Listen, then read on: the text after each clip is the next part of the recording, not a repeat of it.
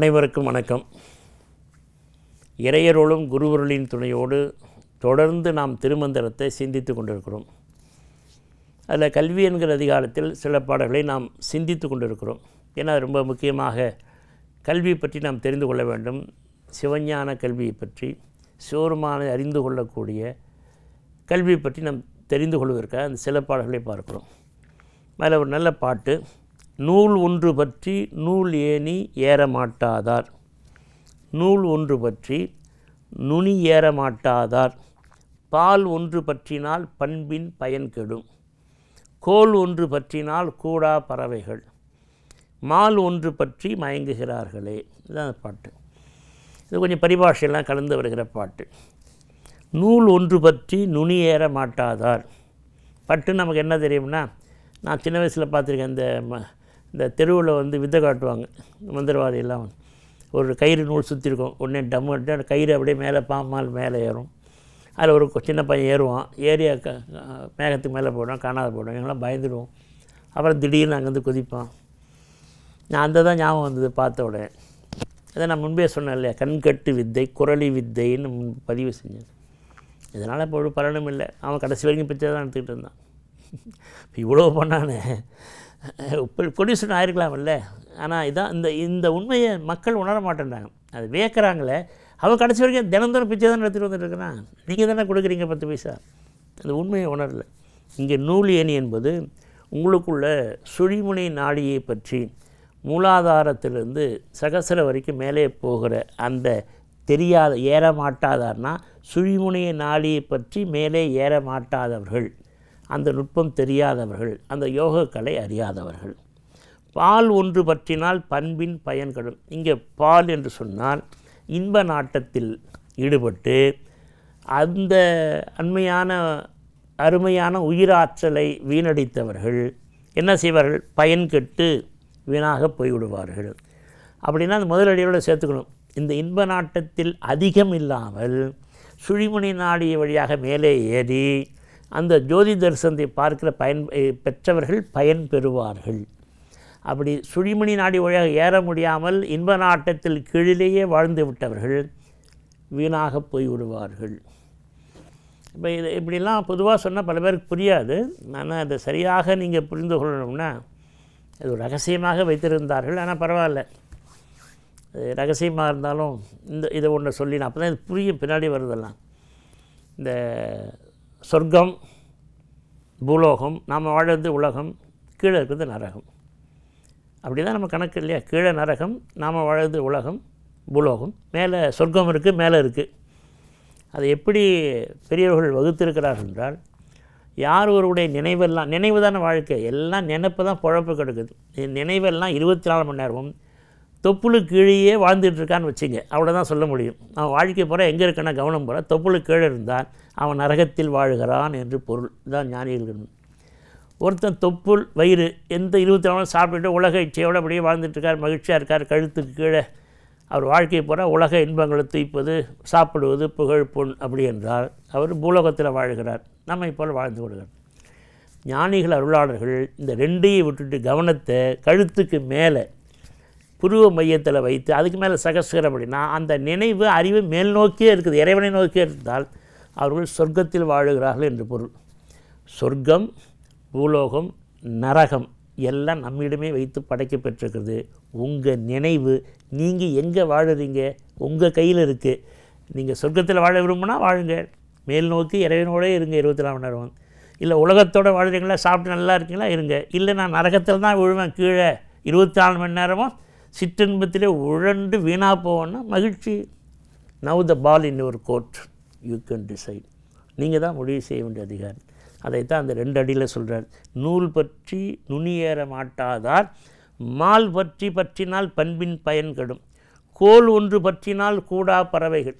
ரொம்ப அழகாக அது என்ன செய்யலான்னா எங்கள் கிராமத்தில் இப்போ சென்னையில் நான் வந்து பார்த்தேன் இப்போல்லாம் தெருக்கடையே இல்லை. அந்த காலத்தில் தெருவில் கடை போட்டிருப்பாங்க பிளாட்ஃபார்த்தில் போண்டா பஜ்ஜியெல்லாம் போட்டு விற்பாங்க நிறைய தின்பண்டம். அப்போ அந்த பாட்டியே அந்த விற்கிற ஒரு கோல் வச்சுருப்பார். நீட்டை கழு க கோல். அதில் ரெண்டு துணி கட்டுவார். அப்படி இப்படி ஆட்டினார்னா ஈ எல்லாம் விற்காது பறவை கூட வர காக்கா பார்த்துட்டு டக்குனு இப்படி இப்படி கோ கோல் ஆட்டினார்னா எல்லா பறவையும் ஓடிடும். நாலு தடவை பார்த்துட்டு ஓடிடும். அப்போ கையில் அப்படியே கோல் இருக்கும். இந்த கோலை வைத்து உலகியலாக பொருள்களை மற்ற பொரு விலங்குகளோ பறவைகளோ சாப்பிடாமல் காப்பாற்றுவது போல நீங்கள் உங்கள் உடம்பை எப்படி காப்பாற்றிக்கணும்னா உங்கள் உடம்புக்கு ரொம்ப முக்கியமானது முதுகுத்தண்டு அதுக்கு வினாத்தண்டுன்னு ஒரு பேர். அந்த முதுகுத்தண்டை சரியாக பேணினால் ஒழுகினால் முதுகுத்தண்டை நீங்கள் காப்பாற்றி கொண்டால் இந்த ஐம்பூரிகள் சேட்டை பறவைகள்லேருந்து நீங்கள் தப்பிக்கொள்ளலாம் அந்த பொருள் விற்கிறவன் எப்படி கையில் ஒரு கோலை வச்சு ஆட்டி பறவைகள்லேருந்து தப்பிக்கிறது பொருளை காப்பாற்றுவது போல தேகத்தை எப்படி நீங்கள் காப்பாற்ற தேகத்துக்கு ரொம்ப முக்கியமானது முதுகுத்தண்டு. அந்த முதுகுத்தண்டு என்கிற கோலை சரியாக பயன்படுத்தினால் இந்திரிய பறவைகளிலிருந்து கூடா பறவைகள் பாடல அந்த இந்திரிய ஐம்பூத பறவைகளிலிருந்து இந்த உடம்பை காப்பாற்றி மேல்நிலைக்கு நீங்கள் கொண்டு செல்லலாம். மால் ஒன்று பற்றி மயங்குகிறார். இது இந்த ரகசியம் தெரியாமல் மயங்க மால்னா மயக்கம்.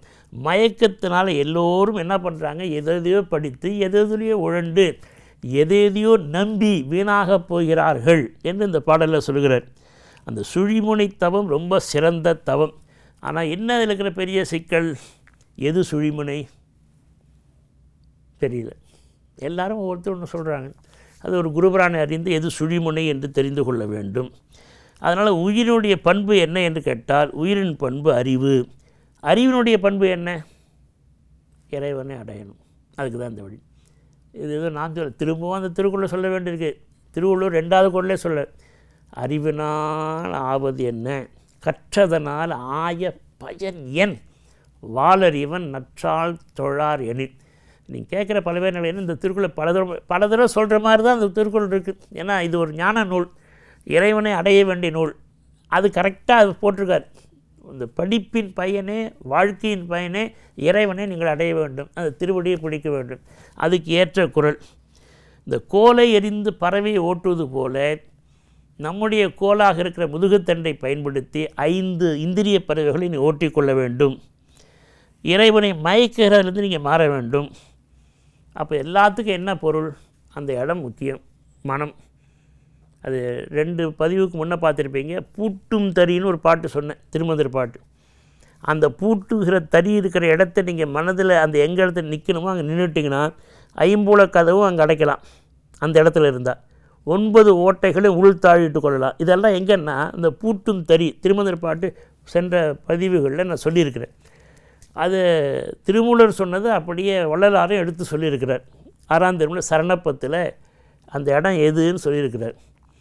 மனப்பரியை கட்டுமிடத்தே கட்டுவித்து மனம் பரி குதிரை மாதிரி வேகமாக ஓடுது.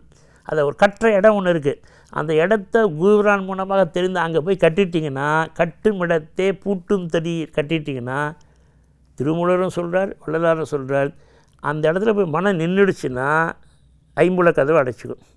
ஒன்பது வாசல் உள் தாழிட்டு கொள்ளலாம். இல்லைன்னா ஒன்றும் பண்ண முடியாது. எல்லாத்துக்கும் அடிப்படை என்ன? ஐந்து புலங்களும் எங்கே போய் நிற்குதுன்னா அதுக்கு ஒரே சுவிட்சு மெயின் சுவிட்சு மனம் தான் மெயின் சுவிட்சு. மெயின் சுவிட்ச் போட்டால் தான் ஐம்புலனும் இப்போ நைட் இரவு நல்லா தூங்குறீங்க. மனம் போய் ஒடுங்கிச்சு. ஐந்து புலனும் வேலை செய்யலை. கண் இருந்தாலும் பார்க்காது. யாரும் நீங்கள் தூங்குறத ஒழிச்சு பாருங்கள் தெரியாது. கூட்டு பாருங்கள் ராமா ராமா ராமான்னு தெரியாது. அப்போ ஐம்புலனும் ஒடுங்கிடுச்சுன்னா மனம் ஒடுங்கிட்டால் ஐம்புலனும் ஒடுங்கிடும். மனம் விழித்தால் தான் ஐம்புலனும் வரும். அதைத்தான் இடைக்காட்டு சித்தர் பண்ணார் மனமென்னும் மாடு அடங்கினால் தாண்டவ முக்தி வாய்த்ததென்று ஆடேடா தாண்டவ முக்தி எப்போ கிடைக்கும்? மனம் என்கிற மாடு செத்து போகணும். மனம் என்னும் மாடு அடங்கினால் தாண்டவ கோணே முக்தி வாய்த்ததென்று என்னேடா தாண்டவ கோணே. இது ஒருபடி மேலே போய் அப்பர் தேவாரம். அவர் சொன்னார் மனமென்னும் தோணி பற்றி மதியனும் கோலை ஊன்றி சினமெனும் சரக்கை ஏற்றி செரிகடல் ஓடும்போது அப்படி நம்ம வாழ்க்கையை வச்சிங்க. மனம் எனும் தோணி அதில் மதி எனும் கோலை ஊன்றி சினமெனும் சரக்கை ஏற்றி செரிகடல் ஓடும்போது மதன் எனும் பாறை தாக்கி மதன்னா விருப்பம் தேவையில்லாத விருப்பம் எல்லாம் ஆசைகள் மதன் எனும் பாறை தாக்கி மறியும் போது அறிய ஒன்னா உனையூனும் உணர்வை நல்காய் ஒற்றியூர் உடைய கோவே நம்ம சென்னையில் இருக்கிற திருவொற்றியூர் இருக்கிற இறைவங்கிட்ட திருநாவுக்கரசர் வந்து கேட்குற நான்காம் திருமுறையில் இருக்கிற பாடம். மனமேனும் தோணி நல்லதுக்கு மனம்தான் தீயதுக்கு மனம்தான் மனம் நல்லது செய்யும் கெட்டதும் செய்யும். விளக்கை வைத்து வீட்டையும் எரிக்கலாம். விளக்கின் வெளிச்சத்தில் திருக்குறளையும் படிக்கலாம். கத்தியை வைத்து பழத்தை நறுக்கி சாப்பிடலாம். கத்தியை வைத்து ஒருத்தரை குத்தி காயப்படுத்தலாம். கத்தியின் குற்றமல்ல பயன்படுத்துகிற நம்முடைய குற்றம். விளக்கின் குற்றமல்ல பயன்படு நம்மை குற்றம். எனவே நன்றாக பயன்படுத்துவோம். மனதை நல்வழியில் திருப்புவோம். நன்மை பெறுவோம். அனைவருக்கும் வணக்கம்.